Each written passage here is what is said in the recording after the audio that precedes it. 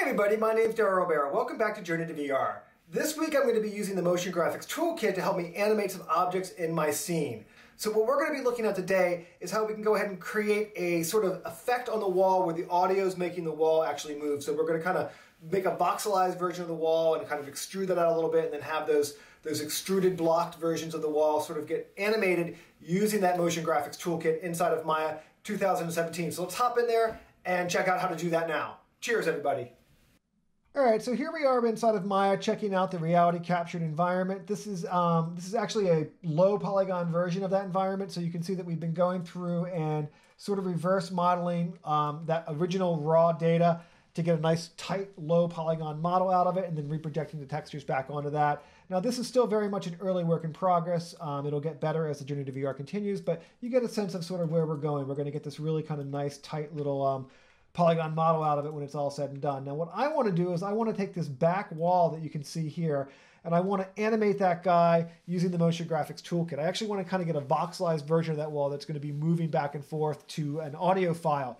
So there's lots of different ways of doing voxelization inside of Maya. I'm actually going to manually build this up because I want pretty precise control over where the polygons are, as well as um, I want the texture information to come along for the ride. Now, this is pretty much a prototype or a work in progress as far as the way this is going to move, but I still thought it was super cool to share with you guys. So first thing we're going to do is go up to Mesh, Edit Mesh, Add Divisions. We'll bring the options up for that. We'll add five and two to kind of get that guy squared out. And then we'll just drop this down to two and two and reapply it. So now what we've got is we've got this polygon plane that's been kind of uh, tessellated out into nice quads that are looking pretty cool. So the next thing I want to do is I want to get in, this chunked out so that each face is individual. So if I went in here and I said select face and grabbed a chunk, you know, I could always run that um, that command inside of Maya, which is the extract command, um, which would then break that off into an individual chunk. But for this example, I want each face to be extracted. So what I'm going to do is double click on one face to select everything at the component level, and I'm going to run the extract options with separate extracted faces turned off. The reason I'm doing that is because I want to go in here and I want to throw this switch that's saying keep faces together. Right now, when we did the extract, nothing's happened because all those faces are still stuck together. But as soon as I click on the on button and switch it to the off switch, now each individual face, if I go back in here and grab it, you'll notice has been extracted out. So it's not, the vertices aren't merged together. So when I move this face, it's not pulling all these other edges, obviously. So that's awesome, right? The problem is this is still a single polygon object. It's still just wall one. So what we want to do is we want to take each face now that isn't merged into its neighboring um, faces and separate them out. How do you do that? Well, it's really straightforward. You just run up to the mesh separate command it's going to go through now, and you'll notice that we now have a whole bunch of individual polygon objects made up of essentially what each face is. Now, there is still a problem with this, and the problem is when we're using the Motion Graphics Toolkit, it's very specific in the order in which you select things. That becomes the object ID number, and that object ID number works in conjunction with the audio node. So Zero object ID is going to be the bass, the highest object ID is going to be the treble, and then anything in between is going to fill in that audio spectrum. So I don't want my um, my polygons to just be randomly bass over here, treble over there, maybe more bass over here. And right now, if I just grab this list of objects, you know, these polygons and start selecting them, you can see that they're just randomly all over the place. They're not in order. So how do you get them in order? Well, it's all done on, on the order of selection that you do, right? It's pretty straightforward. So what I'm going to do is I'm going to manually select these guys in the order that I want them. And I want it to be bass in the center, kind of cascading out like a spiral to treble on the outside edge. So it's a bit of a manual process. I'm basically holding down my shift key and just walking through the polygons and selecting them in the order that I want them to go. So I'll just crank through this really, really quickly. Awesome. So now that I've got those guys done, I'll just hit Control G to group them.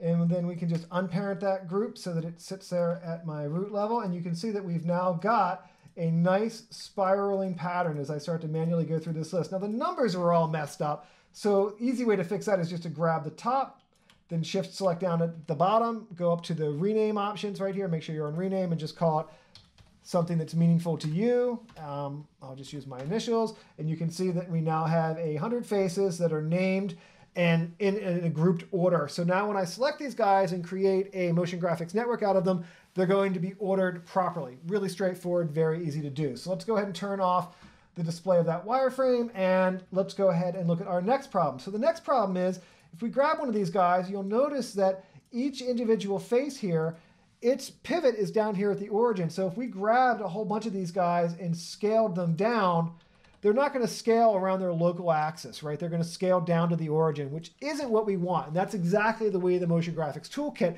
will also move these. It's going to assume that its pivot over here. So how do you fix that? Well, you'd think, oh, that's pretty straightforward. I'll just modify the pivot. So you'd say modify center pivot, and now the center pivot's where I want. So if I scale these guys down, it looks like it's going to scale properly.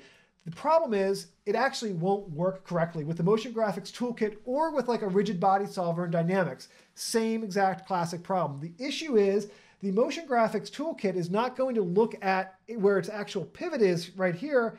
Um, it's going to look where its local axis is. So if you go ahead over and look at the attribute editor for this guy, you'll notice that you, you really need to get that local axis zeroed out, right? So if we, oops, not limit information, if you go to pivots and you look at the local space here, you can see that it's not zeroed out at all. So the local space is, is not going to work properly. So how do you fix that? Well, it's actually really, really easy to fix um, now in 2017. We added the ability to bake the pivot. So what, what's that mean? You just basically grab the objects that you want, go up to modify, bake pivot, bring up the options for this, pivot and orientation, position orientation. We'll hit apply on that guy. So as soon as I do that, you can see that now all the local axes are zeroed out and the objects now actual world position is correctly um, listed in the transform. So that's exactly what you want to see. You want to see the local pivot be different than the world space and be different than the, the um, transform attributes for that guy. So pretty straightforward, but that's all you need to do to fix it um, so that the motion graphics toolkit will work with it properly. If not, it would have all these, it would scale down to the origin. Like if I ran a transform through it or uh, something like that, or or a scaling operation, it wouldn't scale around its individual axis. It would scale down to the origin, which would would totally look horrible. So you don't want to have that happen. So that's the key to, to fixing that is to center the pivot first. So you say modify center pivot, and then you say modify bake pivot, and then you're all set, and the motion graphics toolkit's going to behave exactly the way you want. Woohoo! So the next thing that we want to do is we want to give these guys a little bit of volume. I'm going to grab DTO 1 through DTO 100 shift right mouse click, bring up the extrude, and just give these guys a little bit of a uh, little bit of depth there, and that, that looks pretty cool. So now what we've got is we've got, you know, we've got these little boxes, we've got everything looking cool, and I'm just going to delete my history, and we're going to create a new motion graphics network out of all 100 objects. So how do we do that? Well, you grab this guy, scroll down to the bottom of the list, shift select add to 100, jump over to the animation and say MASH. Let's create a new MASH network. So Maya's going to go through, and by default, what the distribution's done is it's linearly distributed 100 of these guys across the x-axis. That's not what we want. We want them to be in the initial state. So as soon as we put on initial state, they're they're obviously in the right spot, but they don't look right. And the problem is that it's basically taken ID number one. It took the first one and it's replicated that a hundred times and filled in my wall. Now, obviously, that is not what we want. So what we want to do is just add an ID node on there.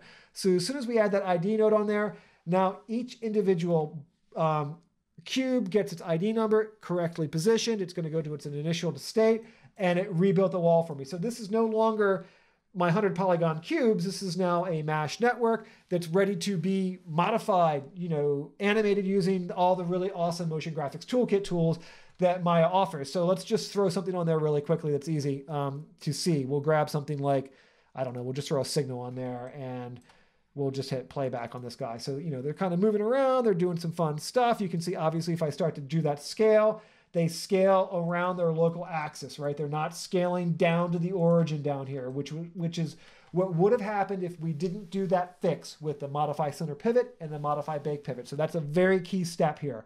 So then obviously if we wanted to, we could add in something like a, you know, a fall off object to make this effect happen when the objects are, you know, inside of there. Scale that guy up, scooch this dude over here. And you can see obviously as I move this around, you know, it's going to affect what objects are getting, uh, what objects are getting shoved in there. One thing that I love to do, let's just go to FX here and go to solvers. I'm going to add onto my shelf um, interactive playback. because I think interactive playback super cool. So with interactive playback on, you know, I can sit here and move this object around and you can see the effect of, of that kind of signal node disturbing those guys. So that gives you the basics of what that voxelized wall that I've made kind of looks like as this object kind of comes in here and plays around with it. Now that's that's all cool, but that's not really what we want to do. Let's just go ahead and we'll drop down the um, the scale that a little bit, and just for fun, I'll drop off the um, the strength. We'll just zero that out. So what we're going to do is we're going to add onto this that audio node. So pretty straightforward. We'll say add an audio node. We got to pipe into that guy, uh, Techno Loop, which is really, really cool. So that's going to be nice. And then the next thing that we need to do is add audio into the time slider. So when you add the audio into the audio node, it doesn't actually play back. You have to still add that in through the Maya proper import. So you say file import. And if we jump over to here and jump in this guy and here, audio, and grab that loop. Another thing to keep in mind, um, is for the audio to play back, you need to set your playback speed to real time or else it will not play back. So with that done, we can jump into our audio node and it looks like what it's doing. Let's play. Okay, so it's moving, but it's kind of distorted. So let's look at what this audio node is actually doing. I believe what it's doing is it's scaling in Y, which is not what we want to do. We want to scale in X. We'll scale in X by, I don't know, 50 or something like that. So what we've got now is we've got bass in the center, treble on the outside. Now, I had 100 cubes in there, so I want to make sure that my bands, the number of audio bands that are going to move objects, is set to 100, right? So um, what's that do? That means all the objects are going to move. So if I put this down to 10, I'm only going to get 10 audio waveforms only moving 10 blocks, right? So I want 100 blocks moving, put the max bands to 100. Now the bass is a little strong there in the center. Let's just go ahead and give it a little bit of filtering. We'll do a moderate filtering on that guy. And I'm gonna just punch the treble up a little bit more. And you can play around with the low the low step here. So if you want it to look a little poppier, you know, you can start to get these really kind of cool, fun effects happening. And obviously, if you wanted to, you could go in here and start to give it, you know, some spin. So we could say, let's spin that guy 3,000 around Z.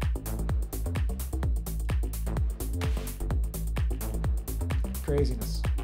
That's kind of cool so that is basically it. Really, really fun, super easy stuff to set up inside of Maya using those motion graphics toolkit. The really the key thing here is to make sure that your your playback speed is set to real time so that you can hear the audio playing back down down in the time slider of Maya. Make sure that when you're making a bunch of objects that have been turned into individual separate objects, that their pivot has been properly sorted out so that the local rotations are zeroed out and their position in world space is accurately represented in the transform node. So those that center pivot, then followed by the bake command, basically settles all that stuff for you. So that's pretty much it for this week. It's still very early work in progress. I'm going to be animating this guy for the next few weeks here. Next week, I'm actually going to be talking about animating and using um, animating in 360. So, you know, when you put a headset on, what's the difference between looking at you know the Maya viewport? It gives you a pretty good view of what's going on, but when you put a headset on and you have this 110 degree field of view and you can look behind you and things like that, how do you animate for stuff like that? So you know I'm going to be playing around with more animation next week, going into doing some of the stuff with the graffiti next week. So make sure you tune in. If you're watching this on Vimeo or on YouTube, make sure that you go back to the Journey to VR on the AREA blog. There's lots of great material on, on that. Um, there's lots of awesome written articles also. So please make sure that you go back to the AREA to the Journey to VR blog and check out all the other content that we're creating that, that kind of goes along with this. So thank you again so much for your time, everybody. Have a great weekend. Cheers.